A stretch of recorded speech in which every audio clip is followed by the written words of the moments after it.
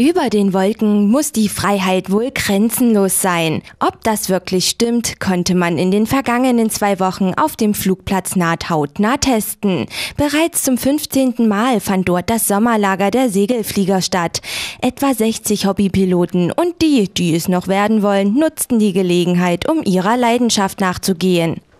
Also es ist nicht ganz so, dass ich sagen kann, ich komme mal Mittag vorbei, guten Tag, jetzt will ich mal hier ein bisschen mitmachen.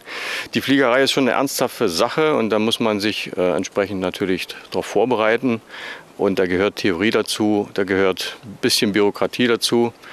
Ja, also prinzipiell äh, natürlich, aber dann muss man sich entscheiden, sowas kann man nicht halb machen. Also das muss man richtig machen, sonst hat es wenig Sinn. Wer denkt, es braucht besondere Voraussetzungen, um sich den Traum vom Fliegen zu erfüllen, der irrt. Ja, also was viele nicht wissen, mit 14 Jahren darf man so ein Segelflugzeug fliegen und wenn man in der Ausbildung entsprechend fortgeschritten ist, sogar alleine. Und äh, man muss durchschnittlich gesund sein. Ich sage immer, wer so gesund ist, dass er problemlos einen Führerschein bekommt, kann eigentlich normalerweise auch Segelflieger werden. Ja. Ein anspruchsvoller, aber kein elitärer Sport, so würden die Verantwortlichen des Aeroclubs das Segelfliegen beschreiben und haben auch Angebote für die, deren Geldbeutel noch nicht so prall gefüllt ist. Ja, da lasse ich immer gern die Leute schätzen. Was meinen Sie, was muss man im Monat ausgeben? Äh, unsere jungen Leute ohne eigenem Einkommen fliegen für 40 Euro Flatrate im Monat. Und ich denke, das ist vergleichbar mit anderen Hobbys, musizieren oder Reiten gehen durchaus nicht teuer.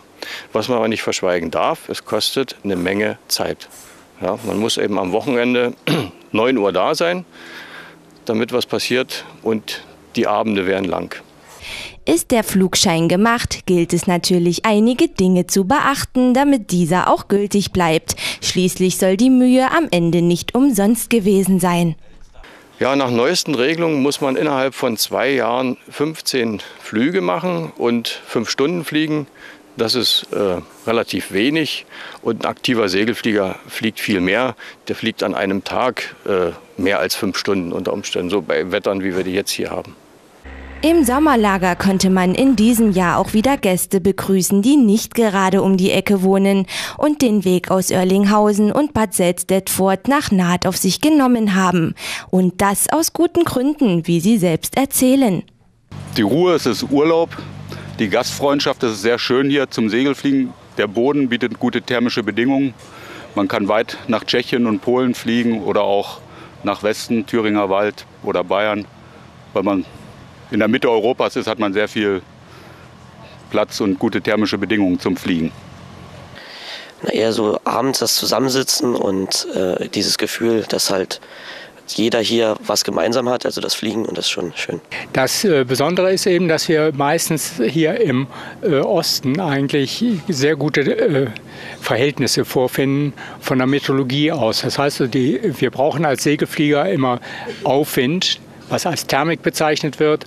Und diese Aufwinde sind natürlich über trockenen Gebieten, über Sandböden besonders gut. Und diese Sandböden findet man hier im Osten riesengroß. Und das haben wir in Kleinformat bei uns in Erlinghausen am Teutoburger Wald. Da ist ein Streifen, der ist vier Kilometer ungefähr breit und so 15 Kilometer lang. Und das es geht hier über 200, 100, 300 Kilometer der, bis weit nach Polen rein. Wichtig ist, dass der Spaß trotz aller Lernerei und Konzentration nicht zu kurz kommt. Darum kann am Ende eines Fluges mittels GPS-Übertragung auf dem PC verglichen werden, wer am weitesten geflogen ist. Ein bisschen Kräftemessen gehört dann wohl doch dazu. Wer auf den Geschmack gekommen ist, kann gerne mal beim Aero-Club auf dem Nata Flugplatz vorbeischauen und dann vielleicht auch mal über den Wolken fliegen.